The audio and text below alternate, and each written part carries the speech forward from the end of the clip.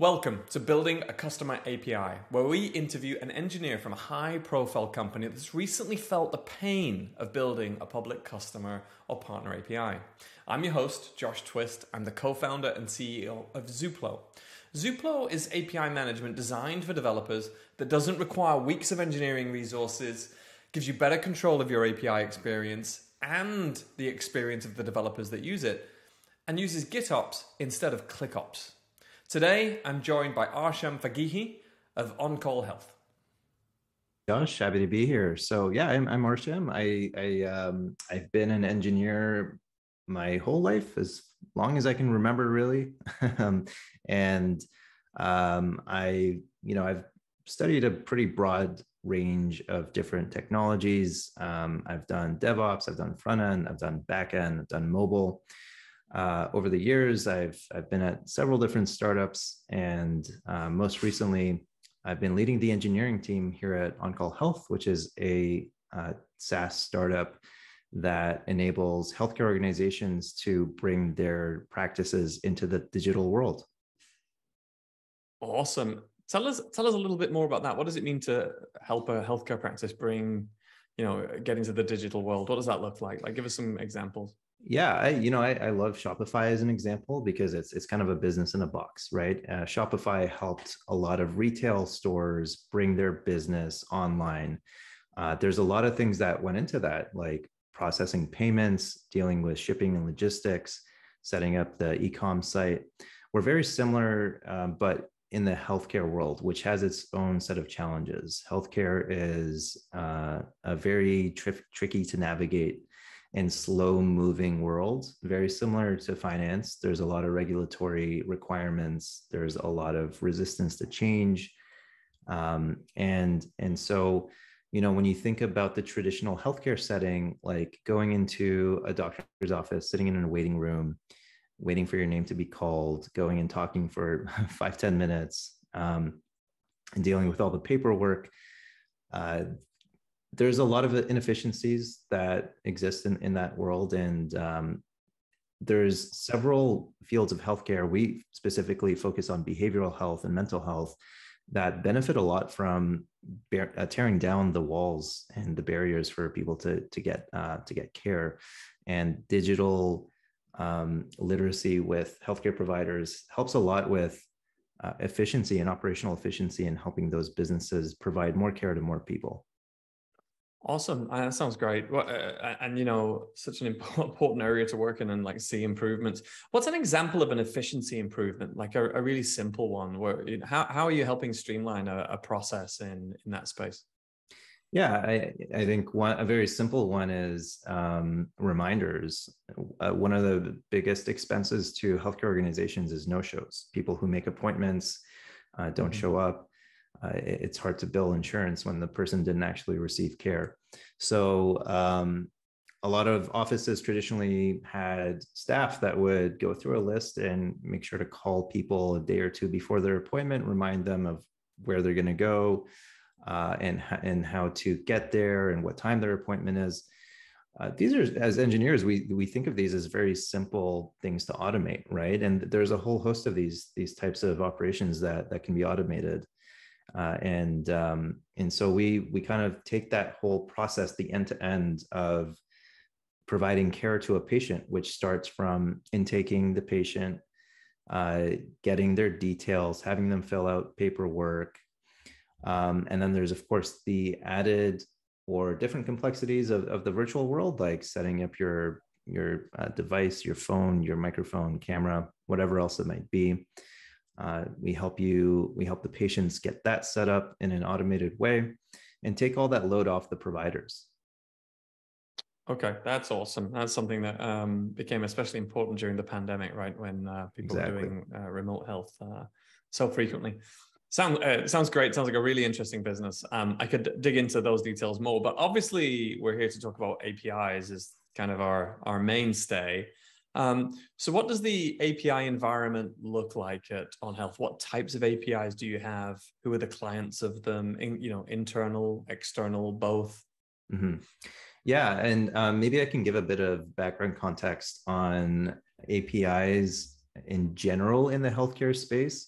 Yeah. So, um, yeah, the you know there's a large fragmentation of software and services um, that is used in healthcare. Um, so there's a lot of backends and front ends that go into serving patients and, and getting them care. There's something called EMRs, which is electronic medical record systems, uh, or EHRs, electronic health record systems out there uh, that healthcare organizations will use to keep track of patients, taking notes, whole host of things. And um, they they're kind of like the central database, but there's so many of them out there, and for them uh, to work cohesively with all the other tools and software that the organization might be using, uh, obviously you need a good deal of interoperability out there. And historically, these these services have been very closed off, uh, and you know weren't really willing to open up their data to uh, to be integrated with. And what happened a few years ago in 2016 was the U.S. passed something called the Cures Act, which prohibits um, healthcare providers and healthcare vendors from what they call information blocking, meaning it's actually if you if you want to be a certified healthcare software in the US, you are required to open up your data for integration. Um, and so, you know, we're we're not covered by that law, but it's actually opened up the world uh, of healthcare to kind of realize how important interoperability is and and the types of um, operational efficiencies and, and time savings you can get by having uh, you know apis that are open and usable and and integrations that you can build. And so what we've done is our service has opened uh, an external api as well. We did this fairly early on. Uh, that lets you integrate OnCall with your emrs or any other service that you might be using. So you want to send out a patient reminder or send out an appointment schedule an appointment um, send out forms or see the responses that a patient filled out in their forms, all of that, anything ideally that a user is able to do in the system, we want uh, available through the API. Wow, that's awesome. Actually, I had no idea about that. Um, the change you mentioned that's kind of driving APIs to be more open. It almost seems seems um, a little unusual. Like when I think about the healthcare industry, I think about regulation impeding progress in some cases you know it being a, a, it could advance faster without as much regulation obviously i understand why the regulation is in place that sounds like a great move actually that's uh, that's driving that that change and that, that sort of interoperability. Um, cool. So i think that's great context actually for the environment you work in. So tell me more about the the apis at, at OnCall Health you know the different types you have um, what that what that landscape looks like.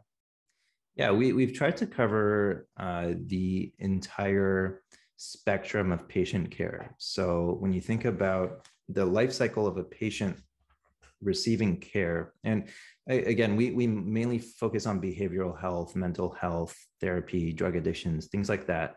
So it's a little bit different than what you might expect at a, at a hospital, but very similar mm. type of thinking. Um, there's there's a, a whole process um, before the patient receives care and after the patient receives care. And some of it is visible um, and forward facing, some of it is entirely back end. And, and so, you know, from end to end, a patient might come and want to book on your calendar. So you need to provide what times you're available with. So that's a great point of integration is, is to provide your availability uh, to, to your services. Um, and then the patient might book some time, fill out some forms, and uh, you may want to react to the way that the patient filled out a form. If they're indicating certain behaviors, you may want to react more quickly uh, in those cases. And so that information flowing to you is, is really important because you might want to build some custom logic for yourself, right? And so forms that you've built in the system that the patient has filled out can uh, you know all that data that that you've asked and the answers that come along with them are available to be sent to the to the healthcare system as a webhook hmm. um, and and uh, you know and then in in return the systems sometimes may book an appointment uh, with the patient at a certain time. Um, and uh, from the appointment onwards, you know, after the appointment, there may be a follow up. So you can you can uh, do scheduling, you can do historic lookups of appointments, you can look at the notes that the provider took, do analysis on those, um, and then there's there's the uh, you know aftercare. So especially in, in spaces like addiction therapy, you may want to check in with your patients that you know graduated or, or left the program uh, periodically just to make sure they're doing okay.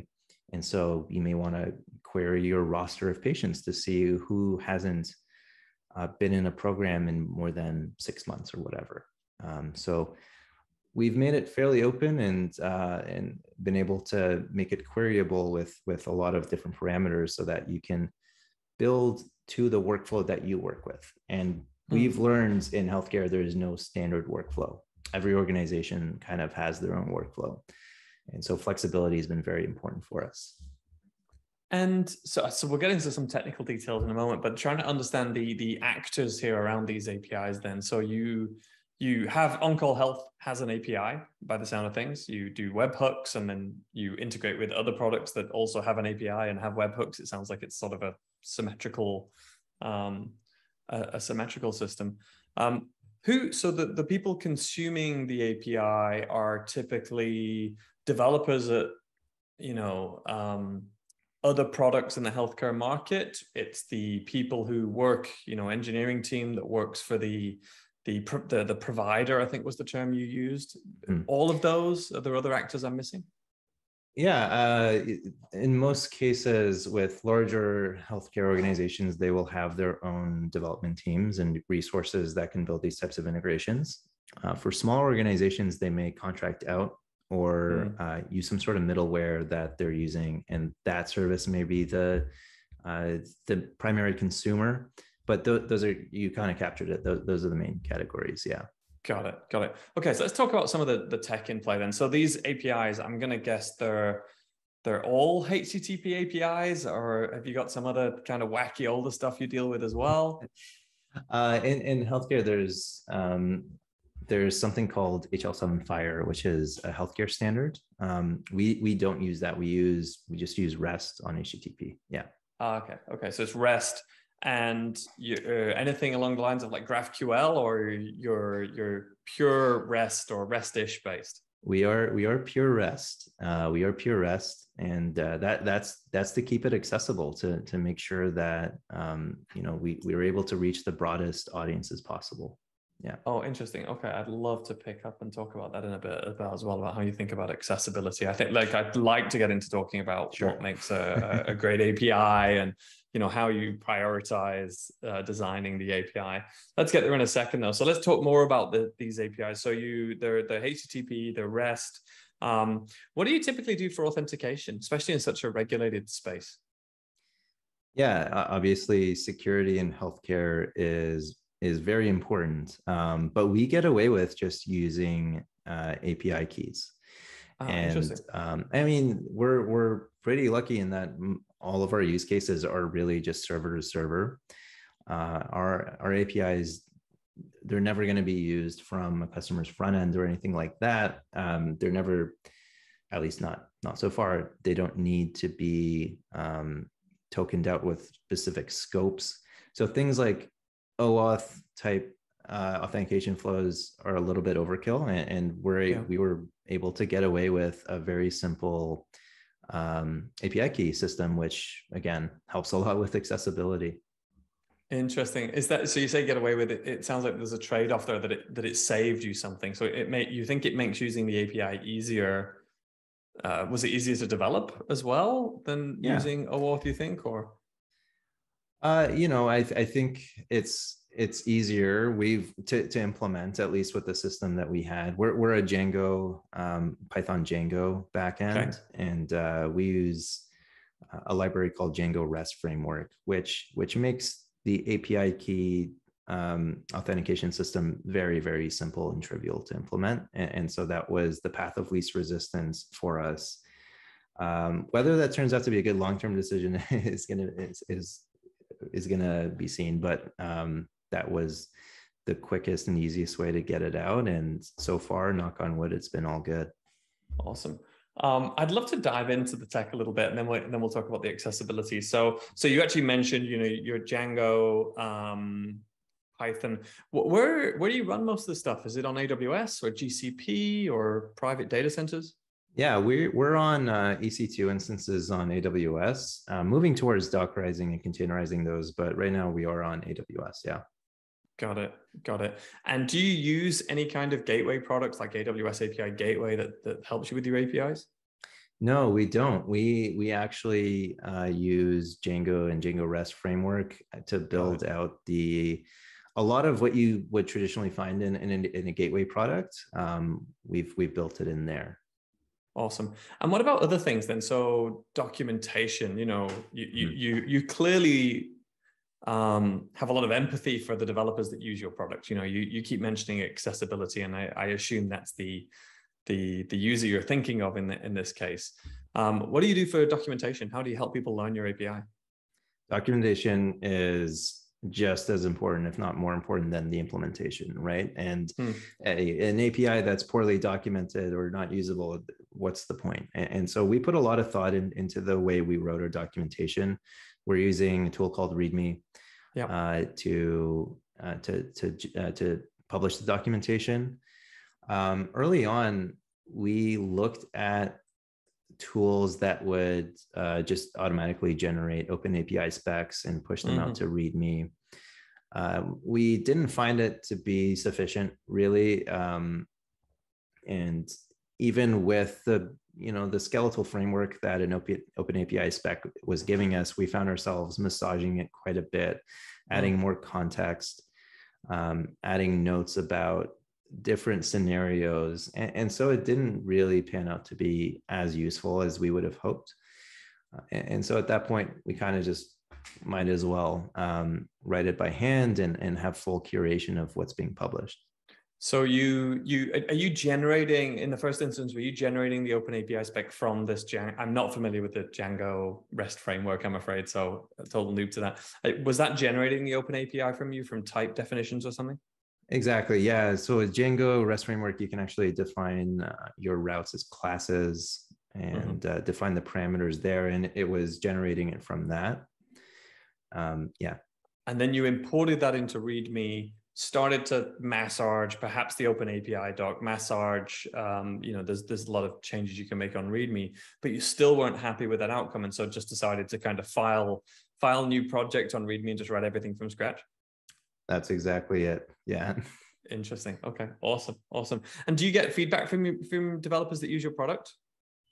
Yeah, um, I, have sat on quite a few sales calls and prospect calls. We are we're a B two B business, so um, I get the um, it's we're lucky because we get to be close with our consumers, hmm. and uh, I know that APIs are not flashy. They're not very visual. It's hard to demo an API uh, but I often notice a change in tone when we when we pull up our API documentation uh, on hmm. a call and show, you know, hey, look at everything we can do and how well it's documented and um, and you know how in depth that we we can go with with your system and and that that seems to be a really important component when we're talking to enterprise customers.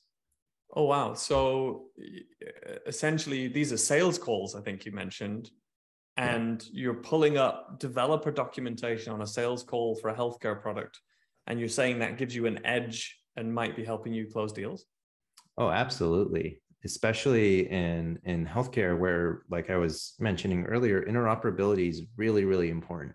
Mm. Having these different fragmented systems be able to talk to each other is is is an absolute game changer and in many cases it's a deal breaker if it can't and um, and us having this open api from early on in the business was was really important that's you know and I, I go back to a couple of things you mentioned earlier that um, some of the bigger providers might have sort of engineering teams or smallish engineering teams and some of the smaller providers are outsourcing this work to you know a consultancy or some sort of contractors i'm guessing if they're more efficient at using these APIs to the integration, that's like re- immediate cost savings and allows the in-house engineering team to work on other things. That's why this is attractive to them. Absolutely. I mean, we're, we're talking to people who are business decision makers, right? They don't care if you're using ISO 8601 for your date format. They care how, how much money is going to cost them to integrate with your system. That's their bottom line. And, and it's important. It's important to keep that in mind as a developer uh, that, you know, at the end of the day, if you're building a, a monetized business, you, you need to keep your customer in mind as well. That's awesome. Okay, that's a great, uh, great story. I love that. Um, um, so you know, you've talked quite a bit about accessibility and trying to make uh, this a, a, compelling part of your product. What is your what is your little playbook now on on like writing a great accessible API? Like, what makes a great API? What makes a great API? I mean, we I think we we all we can all think of an API that we really like, um, and um, the way the way I think of it is is that you know the I in API it stands for interface, right? It is at the end of the mm. day, at, at the end of the day, it is just another interface, just like a user interface that we might think about, and it's not visual. But I think there's a lot of parallels to be drawn in how we think about UIs and how we think about APIs. Um, and as developers, you know when we're talking about uis we we probably think a lot about the decisions that we're making with the ui like uh, what the impact of putting a button here is, the font size, we can understand how it's going to affect the end user and we give it a lot of thought. Um, I know in a lot of cases, we may not give the same level of depth of thought when we're designing APIs, especially early on. Um, but I think that that's a mistake because there's a lot of uh, learnings that that could be had from mm. the principles of good UI design and good interface design in general uh, that that could be ported over. And, and maybe it's just because you don't have a designer breathing down your neck with looking for per- pixel perfection, but um, but I, I think that that's how I think of it is is just looking at it as an interface. Uh, awesome. Okay, yeah, that makes a lot of sense. Uh, let's talk about some other things then. Like, uh, so we've talked about keys. You know, you picked API keys because you think they're easier for people to use. They're plenty secure. Um, even in a regulated field like healthcare. I think that's really interesting. Um, you talked about docs and how important you think documentation is. You picked REST over other options because you know it's easier for people to learn. I, I think um, we heard that in our last chat from um, from someone that actually went the GraphQL path. They they Utsav was um, another interview we did, and uh, they used GraphQL, but noted that there was a learning curve. Um, you know, it took a few months for people to kind of get on top of it. How do you think about versioning and compatibility of a of an API in this space? Yeah, um, I'll, I'll draw this back to the to the UI example I was just talking about. It, it is one of the principles of good design is is to keep it familiar. Um, I think we've all seen uh, maybe a big social media site go through a, a massive redesign, and even if that redesign was objectively and empirically better, uh, you will always see an uproar from people. Mm. And that's just because you've introduced this unexpected cognitive load on them to relearn the interface. Uh, and and so we we we go to great lengths to make sure that any changes we're making to our API remains backwards compatible, and that we don't lock ourselves in a corner uh, in the future. And um, obviously, that's not always going to be avoidable. Um, but the way I think of it is is versioning should kind of be almost the last resort, and and mm. we hmm. should be thinking about keeping it backwards compatible to minimize uh, the disruption to the people who are already consuming it.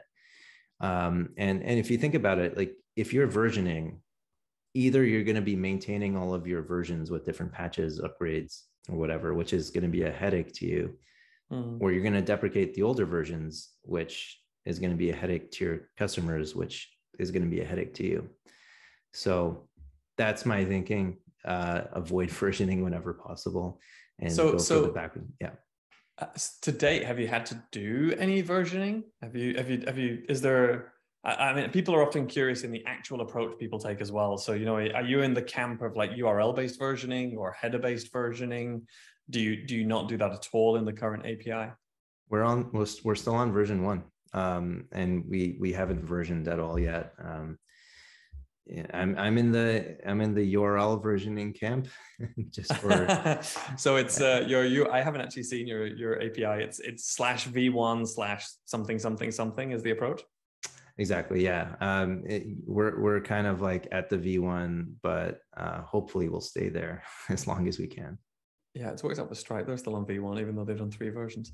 Um, so so um, uh, tell me more. Why why are you in the URL versioning camp? Any particular strong opinions there? I, I wouldn't say I have a strong opinion. I, I do think uh, it is more explicit and a, a little easier to see what version you're actually hitting um, yeah. rather than the header. Uh, but I, I, wouldn't say I have, I have, a strong opinion on that one. Fair enough. Fair enough. Um, so I'd like to talk about protection. Have you had any incidents of um, hackers or customers hitting your API really hard and causing you headaches or problems? We've had developers accidentally doing that yeah if mm-hmm. if they write a bad loop um, that's happened but we do have rate limiting in place uh, to protect against um, uh, th- those types of errors and issues that could come up and uh, nice um, and what's the how do you approach that did you write it yourself or are you using a library or some other service uh, rate limiting, I mean, this this is where an API gateway would have would have been really helpful. But we we use Django REST framework has a built-in rate limiting service, and you can actually write custom policies in there, mm. which is nice because you can kind of tie in application logic to your rate limiting.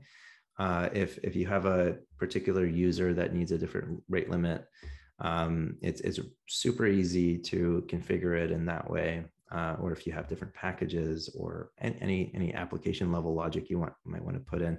But yeah, we we use Django REST frameworks built in rate limiting. Nice, nice, awesome. Um, so in, in terms of other topics, I'm curious. Uh, are there any other interesting implications of working in healthcare uh, with respect to building APIs and, and and the regulation there? Anything um, uh, do you think it's gotten easier over time now, today versus 10 years ago, to build in the healthcare space? I think it got, I, I think we, we saw the most amount of change over the COVID 19 pandemic. Uh, mm. There was obviously, as everyone scrambled to find digital solutions, along comes with that the need for digital interoperability. Um, some of the and, and, and like some of the interesting challenges within healthcare specifically. Um, one of one of them is is data residency, which is an interesting one. Uh, hmm. If you're if you're a patient, uh, your your data needs to stay uh, in in the jurisdiction that you're in, uh, often the same country that you're in, um, and so we we actually have to route your data to an AWS data center that's as close to you as possible geographically. Uh, and, and, so we, we've actually deployed multiple instances of, of the app and, uh, and data is routed to the correct data center and it stays there. It can't be stored at rest in a different geographical uh, jurisdiction. Got it. Interesting. And so it's mo- it's really about the storage at rest, like when it's written to disk somewhere and persisting versus how it might be. I'm, I'm guessing if I'm a customer of yours, I could still access my data if I'm on a vacation in Europe or something but that data has to be written to a disk that resides on US sovereign soil. Yeah, exactly. It, it's hard to route data without uh, ensuring that it doesn't leave the borders. So it, in transit, it can leave, but at rest, it has to stay. Interesting. Okay. Last last couple of topics for you. Um, really, it's about about the build out. So so you know, there's obviously a lot of what people traditionally call business logic in your product that's very domain specific. But we've talked today about a lot of cross cutting concerns that probably apply to most APIs, like API keys, um, generating documentation or writing documentation, um, rate limiting using the library that you mentioned. Um, tell me a little bit more about the API key solution you're using in, in Django REST framework. That I assume that includes the the the element that runs in the HTTP pipeline that actually checks that the key is valid and sends back a 401 if it's if it's not. Is that right? Yeah, we we've actually written middleware uh, to to handle the authentication for our our API. So the the middleware is what's actually ensuring that you you have the right key. Now the the key generation is is something that we built in house. We're ah, okay. we're just generating a UUID. Uh, yeah. This is something that I would love to move on to a, another service because um, you know who wants to handle key generation and and, and all that. Uh, but part of it is that every time that we we're dealing with uh, a large enterprise customer, we have to go through a whole process mm. where we're disclosing all of the different services that we're touching. And so, just to minimize that surface area, a lot of the times in healthcare, it's easier to keep it in-house wherever possible. But yeah, the API key generation is is one that I, I feel like is an easy candidate to to outsource to a different got service. It. So you've got your own data storage. You store these keys encrypted or hashed or something, yeah. and you provide some sort of management experience for your developers to access those keys and roll them and, and right. manage them, etc. Yeah. Yeah, and you know, with the the security concerns, I think as long as you're giving them the ability to revoke or rotate keys, yeah, um, I think you're you're you're golden. And and uh, monitoring uh, the usage of the keys is is also important. So when was the last time it was used? What's it doing? Um, and uh, if you're able to to monitor your API uh, for unusual usage patterns, I, I think you know that that's a great way to to keep um, to keep security concerns at bay. Interesting, yeah. And what are you doing for analytics and monitoring? To uh, did you build a bunch of in-house reports in a data lake, or using a tool? We're using Datadog uh, to okay. to monitor um, abnormal patterns. Um, so a lot of again, not something we want to build in house, not yet, uh, but Datadog works works great for that. So so for all of these pieces, that you put together yourself. How long do you think you spent engineering that, just roughly, you know, in terms of weeks, uh, months, whatever the right unit is? To, to get kind of an MVP of, of this API out was a bit, of, probably a bit under two months um, in, in total. And uh, this is with a very small team at the time. I think we were two or three people, no mm-hmm. more than that. Uh, but yeah, under two months, uh, quick to bootstrap, and um, I, I, actually think writing good documentation took longer than, than actually implementing it. Um, but yeah, not not too bad. Awesome. Well, that's uh, that's. I think it's been a great discussion. Um, you know, some of the takeaways for me, uh, my favorite takeaway from this was how you folks see um, APIs as a differentiator and quality API experience as like an actual business differentiator that people might choose your product um, over a rival product. And obviously, given given what we do at Zuplo, we're big fans of people who care about developer experience on both ends, like the developer building the API, but perhaps even more importantly, the developer consuming the API. So some great takeaways there and a lot of great learnings. Thanks, Arsham, for hanging out and and chatting. Anything you want to share at the end of the, the podcast? No, it's a great time. Thanks a lot for having me. Um, and uh, you know, I, I love Zuplo. Took a look at your docs, and um, best of luck to you. Yeah, thanks. Cool. I hope we'll, we'll, we'll do a catch up one at some point and see what's changed when you're mega successful in a year's time, or even more mega successful, I should say, in a year's time. For sure. Cool. We made Zuplo because we didn't feel that the API management and API gateway products in the market were really designed for the people that use them. Um, I founded Azure API Management. Uh, I worked at Stripe. I worked at Facebook and touched APIs um, uh, all of my career. And I felt that gateways and API management platforms were really designed for decision makers at the top of organizations. They weren't designed for the developers that use the gateway or for the developers that consume the API. And so that's what we're trying to do different with Zuplo. We want to make a great experience for both the people developing the API, save them time, get them quicker to market, solve problems like API keys in a matter of minutes or hours, not weeks or months. Um, and also provide an amazing experience to the developers that consume the API because we know that engineers are craftspeople. I, as a, an engineer, I care deeply about the experience I put out into the world that developers are going to use. I want them to think it's cool. I want them to think the docs are beautiful. Um, And so that's what we're trying to do with Zuplo. Uh, if you're planning or working on a new API, a new public API, and you're looking for an API management experience that's fast, made for developers, gives you full control over your API experience, head on over to Zuplo.com and try it now free. Zuplo customers are already doing more than 1.5 billion API requests per month on the Zuplo platform. So you should join the revolution and come and help redefine API management for developers.